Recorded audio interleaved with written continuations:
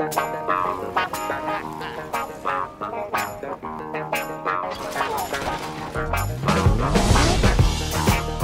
not asking for sympathy.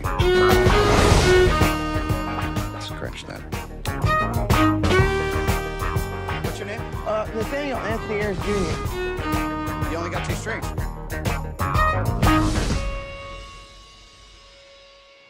Had a few setbacks.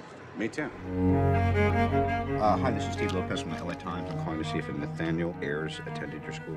He was the most gifted kid I've ever met. I'm gonna write a column about Nathaniel.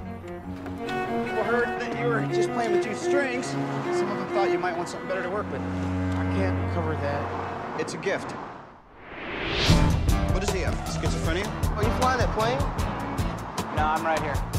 I'm not always so sure what's going on. He has no idea what he's saying. What's with Neil Diamond? Uh, I thought that was you. Your friend is downstairs.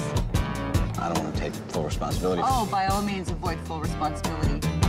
He's sick and he needs a psychiatric hospital. Oh, you just keep on Don't put me using away.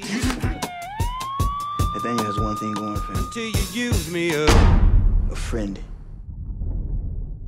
Come on, you can do it.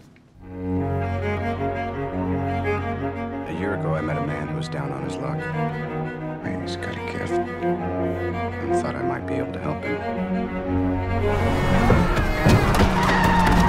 Are you out of your mind?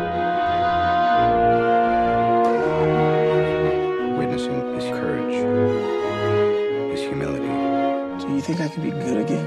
and the power of his art. I've never loved anything the way that he loves music. Being his friend will carry you home.